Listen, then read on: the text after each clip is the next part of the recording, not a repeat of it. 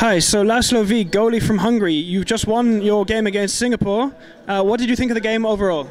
Uh, overall, we did a go- better job than in the previous games.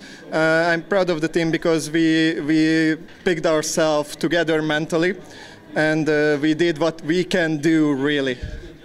Okay, this is your first victory at this World Cup. How does it feel to be on the winning side? It's always good to to be on the winning side, but. Uh, from every loss you can learn something also. So every every game is a lesson for for every one of us.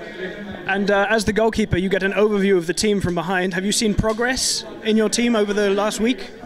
Sure, sure. We, we made progress. Uh, we did a lot, a lot, better in the movement, in the defensive movement, and we, the most important thing, we spoke more. We communicated with each other. Um, is your finger okay? It was a bit physical this game, no? Uh, it's it's fine. It's going to be fine, but uh, I'm I'm not worried about it.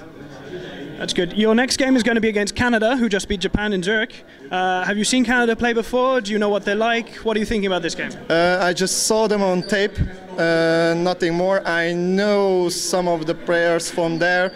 I know that they played in Europe, some of them. It is going to be harder, but uh, if we concentrate, like in this game, we won't have uh, too much of a problem.